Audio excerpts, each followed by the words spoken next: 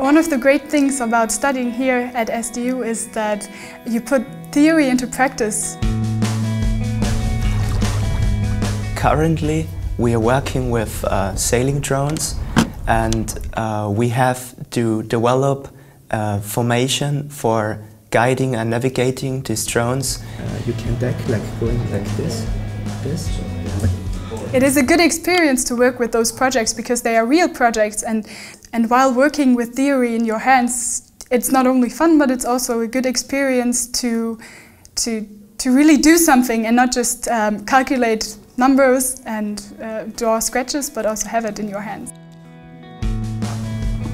Push this button if you feel anything unusual, so you have to... Yeah. Where is that button? Another great aspect of the engineering studies here is that we have the experts in team where we work with um, engineers from the different studies. Uh, if you connect there and there, the LED should light up. There?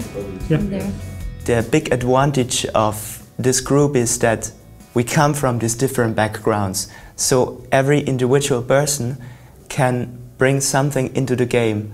Like we have the design side, we have the mechatronic side, and we also have like the business side, how to get the product to the market and to make it a commercial success. Uh, opportunities, yeah. yeah. yeah. Really feel it. Just go forward and stop.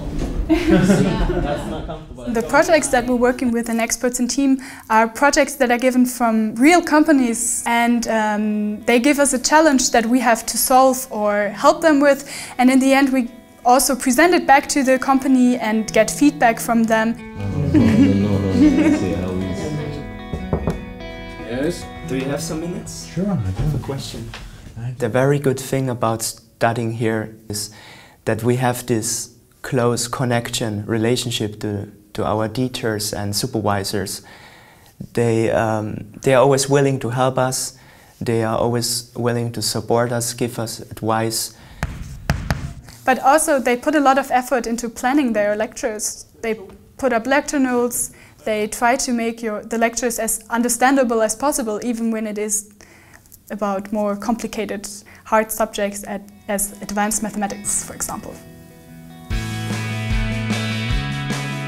If you come here to study, uh, we have a very international environment. I guess we have almost 100 different nationalities. And it's very easy to get integrated here because it doesn't matter how you look like, which language you speak, what is your background. The community is so strong here, everyone wants to get to know newcomers and they want to hang out with each other and everyone is just welcome here.